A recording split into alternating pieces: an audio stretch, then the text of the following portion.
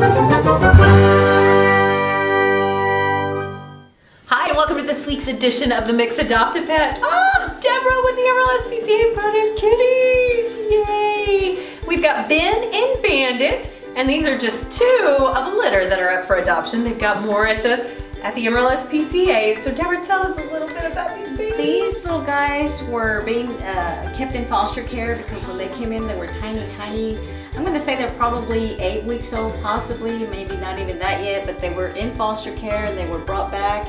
And there was four of them, so we have two more siblings. If y'all are looking for kittens, we have kittens. We have Bo and Bear back, their siblings back at the shelter, so I brought Ben and Bandit to show them off today. got lots of bees, lots of bees. Oh, and they're the perfect size and a, just a way to grow up with them. Yeah, and they're like little medium hair, so if y'all want something that maybe is not short, short hair, they've got that little medium hair going on, so, um, but they're awesome little kitties if you're on the market for kittens.